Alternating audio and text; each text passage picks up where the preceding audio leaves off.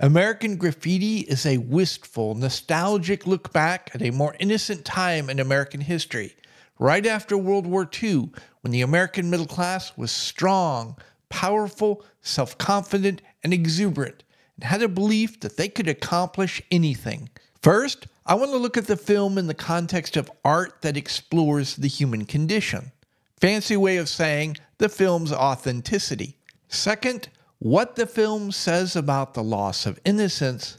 And third, how ultimately the film has a message of hope.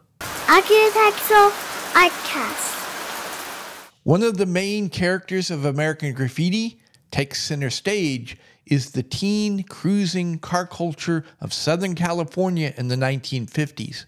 That culture may have died out in Southern California and other major metropolitan areas in the early 60s, but I grew up in that culture because in the 1980s it was alive and well in southern Missouri. We didn't have a drive in, but we had the Dairy Mart and an Uncle Donnie's pool hall. Every Friday and Saturday night, particularly in the summertime, teens would gather in the IGA parking lot and then cruise Main Street all the way up to the high school and then back again. Rinse and repeat all evening. Half the guys I went to school with had some sort of hot rod. On any given day in our school's parking lot, you could find old Mustangs, GTOs, 55, 56, 57 Chevys. One of my buddies had a 66 Chevy pickup. Another one had a 59 Ford pickup. We had all the hijinks, shenanigans, and pranks, messing with the cops. We had teen romance with all its associated drama. We had the school dances, again, with all its drama. We had a lot of drag races, and we had fighting and drinking. I know somebody who I grew up with who's the equivalent of every single character in American Graffiti. My friends will tell you I'm in the movie. I'll let y'all figure out who that might be on your own. Couple quick stories. The movie's about nostalgia, so let's get nostalgic.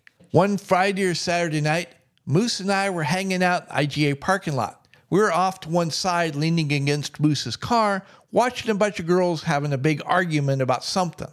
My brother showed up. He nosed his truck in at an angle, so there was a triangle space between Moose's car and my brother's truck. We're standing there watching as more and more people are gathering to watch this big argument between all these girls. At some point, I don't remember who instigated it, somebody came up with the idea hey, people like drama? Let's give them some drama. Let's start a rumor. And then we decided the only way we could start a rumor like this short notice pretend like we're getting in a fight. But who was going to fight? Before my brother got into drugs, he and I were very close. It was known you messed with one, you messed with both. So no one would believe we would publicly fight. And Moose and I were best friends. Again, you messed with one of us, you messed with both of us. So no one would believe but we would have a fight. Eric, my brother, and Moose, they were friends, but Moose and I ran in different circles than Eric and his friends. So Eric and Moose, it is. So the plan was Eric and Moose got into a fight, and I'd try to break it up, and things would get way out of hand. We wanted this to look good, believable, so we all shook hands and swore we wouldn't get angry because we were going to say some nasty stuff, and Eric and Moose at first, and then me later, were going to have to throw real punches. This was going to be a real knockdown Donnybrook. At the word go, Eric and Moose start screaming at each other. Their faces are turning red. They're dropping F bombs, calling each other's moms, my mom, every name in the book you can imagine. At one point, Eric does a double handed shove of Moose. Moose body blocked Eric into the side of his truck with a big bang, put a big dent in the fender. And then they just stood back and started trading haymakers, swinging for the fences. It's at this point I start yelling, Guys, guys, stop fighting! Start trying to break it up. But of course, they ain't listening. So I start getting more and more aggressive. I'm pushing and shoving. I'm throwing elbows, trying to do whatever I can to break up this fight. I get in the middle of them and I'm catching live rounds front, sideways, and back. And at some point, we all three fall to the ground and are rolling around on the concrete, end up half under my brother's truck. I whisper, I think we're good, guys. You think so? Yeah, yeah. Time to wrap this up. So when we come out from under the truck, I grab my brother by the collar, open the door of his truck, shove him in, and yell, You get out of here. He takes off doing a burnout, screaming, I'm gonna get you, Moose. Moose is yelling, Come on back anytime. I'm shoving Moose and yelling at him, Let's get out of here. Moose does a burnout as we take off. We'd agreed to meet at Moose's house when it was all said and done. We come in the front door, high fiving, horse playing, all proud of ourselves. Moose's mom and her church friends are playing bridge in the living room. We were dripping blood all over the freshly scrubbed floors. We had a hard time convincing her not to call the cops. Mind you, we'd been in a real fight. Black eyes, bloody noses, busted lips, busted knuckles, our shirts were torn up. I had road rash on the back of my shoulder. We were so messed up, she thought we'd been assaulted. She wasn't amused when she realized we'd done it to ourselves. I'll tell you all exactly how amused she was. She called our mother. Mom wasn't amused either. And the payoff for all of this? For weeks, I had people coming up to me, Hey, Randy, what was with you and Moose and Eric in the parking lot the other night? I'd always say, Ah, we were just messing with everybody, trying to start a rumor. They'd always say, Oh, that makes sense, because I'd heard, whew, I'm here to tell you, rumors, once they get circulating, you know how I said no one would believe that Moose and I would get into a fight? Well, I was wrong because the wildest rumor I heard, I'd pulled a knife, shanked Moose. Now, never mind, he didn't go to the hospital, and come Monday morning, we were at school hanging out as usual. But rumors. Most guys can relate to Toad. We somehow convince a girl that's way out of our league to hang out with us. And then everything we do to try to impress her backfires. Toad gets involved in an armed robbery trying to get some booze, gets drunk off that booze, pukes all over the girl's shoes because of that booze. When it comes to making out, Toad doesn't have a clue. He gets his car stolen, gets into a fight, gets beat up. He loses his car again. The girl has to find her own way home. Poor Toad is sitting on the curb thinking all is lost when the girl comes back over, sits down beside him, and says, Hey, I like you. Call me tomorrow. How did that happen? One more story. I was 15. My class was having a skate party. All our families are there. It was getting towards the end of the evening. I'm hanging out with my friends when one of the girls from the class comes skating over, pulls me aside, and says, If you don't ask Sherry to go out and skate with you on the next couple skate, you're going to catch hell on Monday. Well, why would I want to ask? Uh, oh, oh. I'm not going to say Sherry was the prettiest girl in our class, but for the purposes of this story, close enough. Let me put it this way if that girl hadn't come over and told me it was in my best interest to go talk to Sherry, I would have never approached her. I thought she was way out of my league. Didn't stand a chance. When the DJ announces, next song is Couple Skate, get your partners now, I go wheeling over to the girls and say, Hey, Sh- hey Sherry, would you like to skate with me? She gives me the prettiest smile, says, Why, yes, I would. I am mortified.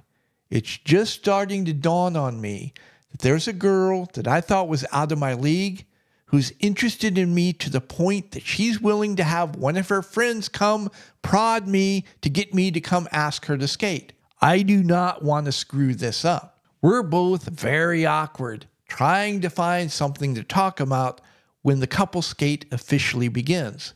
Now, what they would do is at the far turn, they would turn off the lights. Idea as the couple skated through, they could steal a kiss. I'm not even thinking about trying that one. We went through the dark a couple of times, no problem. But what happened is when we were coming back around again, somebody had dropped their drink. Ice was scattered all over the floor. I missed the ice. Sherry didn't. She fell. But in the process, she grabbed onto my hand tight, slungshot me around, and as I came around, my skates hit the ice and stopped. And I went face first right between her legs. We had reenacted the famous scene from Romancing the Stone. At that moment, the song ended and the lights came up, and there's this huge roar in the building. I look up, and she has this surprised, shocked look on her face. Immediately scrambled to my feet, help her up. Now we have the problem though, we gotta skate the whole length of the rink to get back to where we're supposed to be. We had to skate a gauntlet. Everybody was hooting and hollering.